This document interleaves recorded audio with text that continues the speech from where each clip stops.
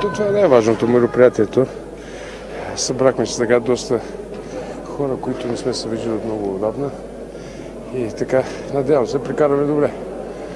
Първият матч мина, сега има още един, така че удоволствие винаги да срещнеш стари приятели да поиграеш малко футбол. Беше интересно, защото всички бяхте ветерани, пък Георги Петков все още действащ футболист, който се бори дори за футболист номер едно на годината.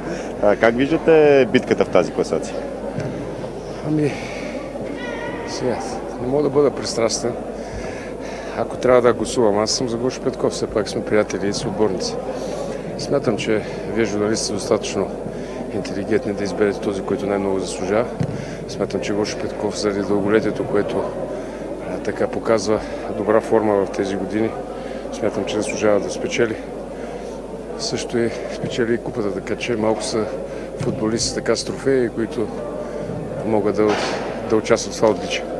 Говори се, че Левски няма да играе в Европа. Как гледате вие на тези новини, които има в последните дни, тъй като до 28 февруари Левски трябва да плати над милион евро?